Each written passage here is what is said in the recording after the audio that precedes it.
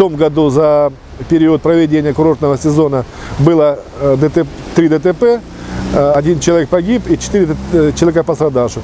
В этом году за весь курортный сезон у нас не допущено ни одного ДТП с участием автобусов. За проводимые э, мероприятия операции «Автобус» э, нами было привлечено более 300 водителей за нарушение правил дорожного движения в городе-курорте Анапа. Нарушения, допущенные водителями автобусов, самые распространенные. Непристегнутый ремень безопасности, выключенный ближний свет фар.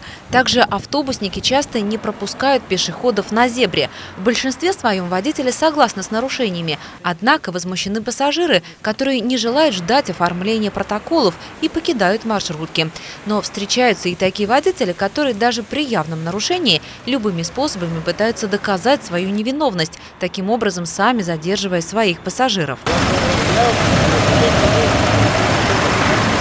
Анапская госинспекция безопасности дорожного движения ведет полномасштабную профилактическую работу на территории курорта. Особое внимание сотрудники уделяют пешеходам и перевозкам детей, которое предусматривает обязательное использование детских удерживающих устройств.